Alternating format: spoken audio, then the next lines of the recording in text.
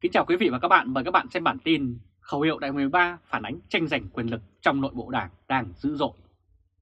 So với các kỳ đại hội đảng lần trước, đại hội 13 đã nhấn mạnh đến dòng khẩu hiệu đoàn kết, dân chủ, kỳ cương, sáng tạo và phát triển. Đây là một sự thay đổi không nhỏ dưới quan sát ghi nhận của các sự kiện quan trọng nhất của đảng này trong dân.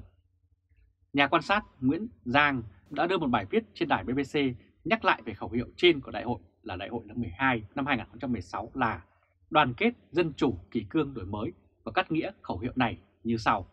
Đây là hình ảnh các phiên họp chủ bị của đại hội lần thứ 13 diễn ra vào hôm 25 tháng 1 tại Hà Nội, cùng dòng khẩu hiệu khá dài được trang trí nổi bật. Có thể hiểu đoàn kết là nói về nội bộ của Đảng Cộng sản Việt Nam, hiện có tới 5,1 triệu đảng viên, chiếm 4,8% dân số Việt Nam với 96 triệu người. Thấp hơn Trung Quốc một chút, 91 triệu trên tổng số 1,4 tỷ người, tương đương 6,6% dân số. Dân chủ ở đây không phải là democracy theo định nghĩa trên thế giới, tức là thủ tục tuyển chọn cán bộ cầm quyền bằng bầu cử đa đảng, tự do cạnh tranh và cơ chế tam quyền phân lập. Với Đảng Cộng sản Việt Nam thì dân chủ ở đây là nguyên tắc tập trung dân chủ. Đảng sẽ chỉ đạo việc bầu ra các đại biểu quốc hội và họ sẽ thông qua nội các được chọn trước. Còn về kỷ cương, các lãnh đạo của Đảng Cộng sản Việt Nam, bao gồm ông Tổng Bí thư Nguyễn Phú Trọng, đã nhiều lần nhắc về việc tuân thủ kỷ luật của Đảng, tuân thủ pháp luật. Với cán bộ kỷ cương thì có nghĩa là chống tham nhũng và cũng sẽ tiếp tục sẽ có nhiều củi lửa, tức là tên tuổi quan chức, tiếp tục được đưa vào lò. Đơn giản là vì dân không thể tham nhũng được. Điều này hẳn sẽ làm báo chí sôi động hơn những ngày tháng tới vì vai trò phải ra hầu tòa liên tục của nhiều quan chức như ông Đinh La Thăng có vẻ khiến người ta nhàm chán.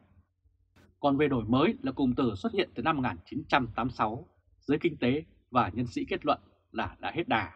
Nay Việt Nam đang nói về chuyện đổi mới, cần đi xa nữa, thành nền kinh tế số có các đô thị thông minh.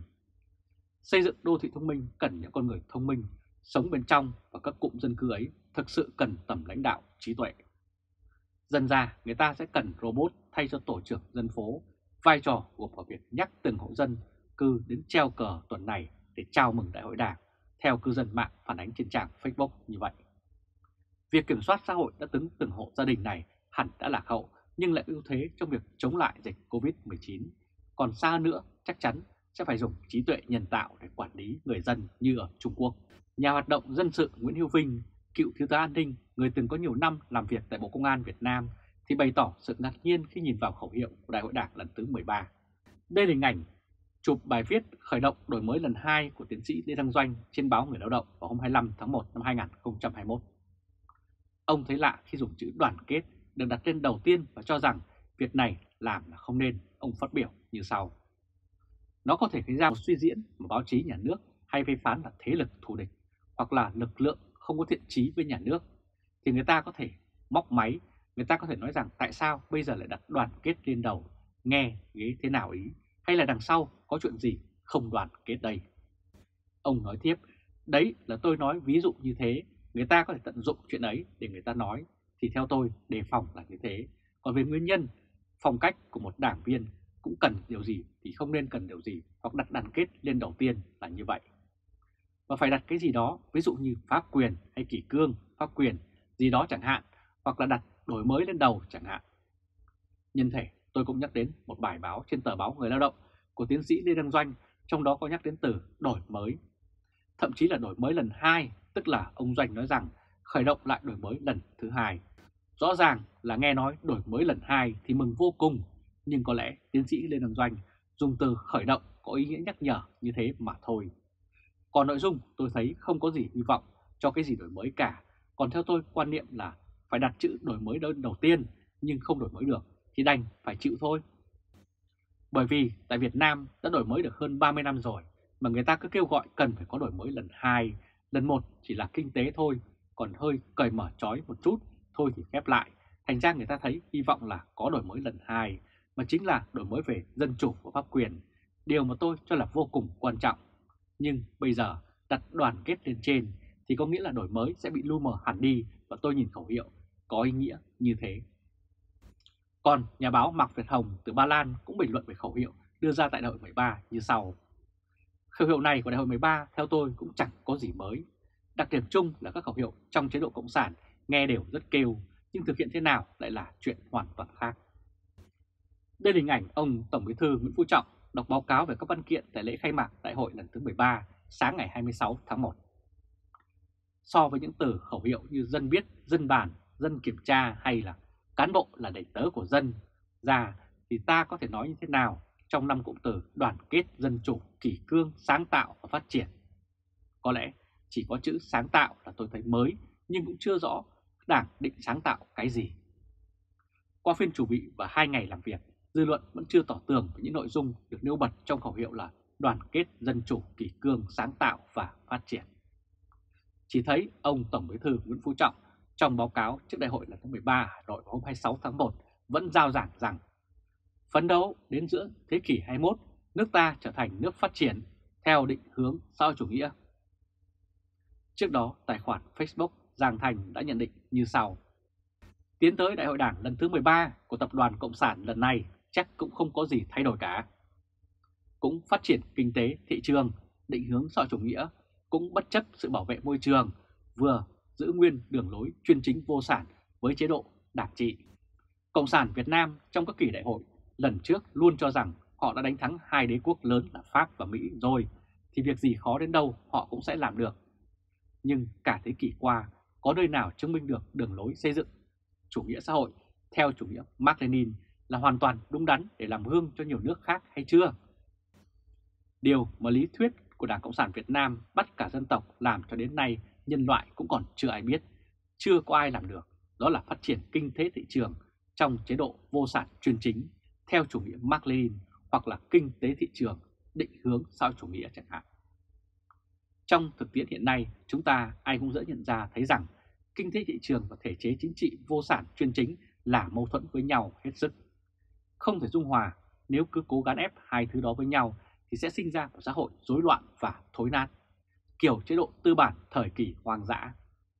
Vô sản chuyên chính sẽ không phát huy được mặt tích cực của nền kinh tế thị trường và càng làm tăng thêm mặt tiêu cực, làm trầm trọng thêm các nhược điểm thối tha của nó và dẫn đến tham nhũng trong Đảng Cộng sản Việt Nam từ xã, huyện, tỉnh đến trung ương càng thêm trầm trọng và người dân chịu nhiều đau khổ. Kết hợp kinh tế thị trường với chuyên chính vô sản sẽ đẻ ra thứ tham nhũng trầm trọng và lan rộng, đẻ ra tệ nạn mua bán quan chức và băng giả để tiếp tục đi lên, sẽ làm xuống cấp đạo đức và giáo dục, sẽ làm phát triển tệ nạn dối trá từ trên xuống dưới. Thế mà kết quả chẳng phát triển kinh tế sẽ được bao nhiêu.